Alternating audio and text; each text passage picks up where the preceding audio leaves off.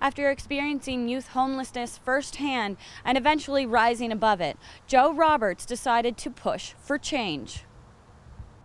The self described least likely candidate to walk across Canada crossed the Burgoyne Bridge on day 185 in his mission to end youth homelessness.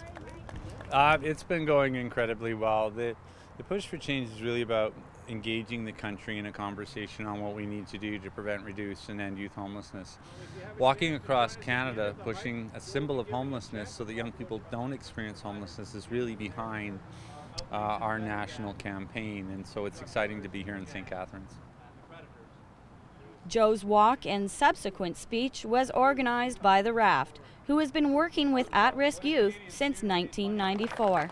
And I think Joe was able to, to really see how, had that prevention been around when he was going through what he was going through, that that, that might have been able to change uh, that course for him, that he wouldn't have had to suffer so long before uh, he was able to, to move forward. So, so I think we had a part of that dialogue.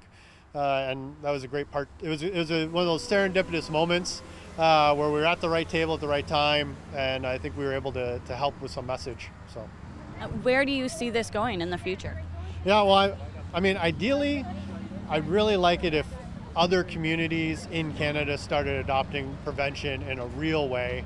Uh, and started really understanding how the school system and education is really the way we're going to end youth homelessness.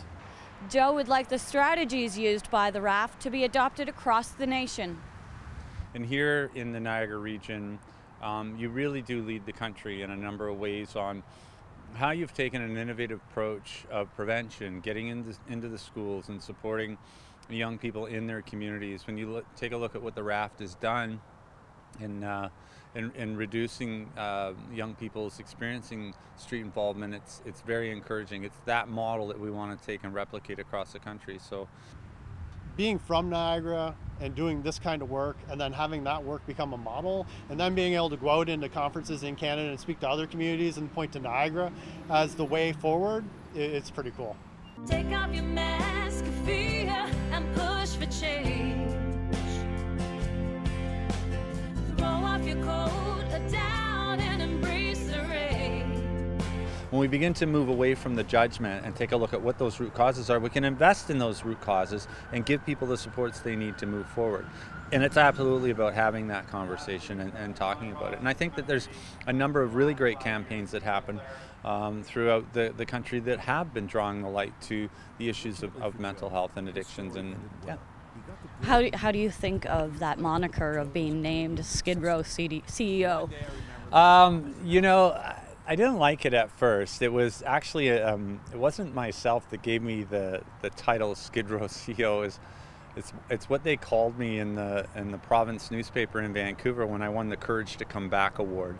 And what I do like about it is, in one sentence, it explains what transformation looks like. That yes, he was homeless and destitute, and then he became a successful entrepreneur. In that sense, I, I do like it because it captures the essence of something in, uh, in a few words. I don't know if I, I really like to lead with it, but it, uh, it does, it does kind of capture that piece, so we use it. Joe continues to spread his message across the region for the next few days. Log on to thepushforchange.com for dates, times, and locations. In St. Catharines for The Source, I'm Kendra Dyer.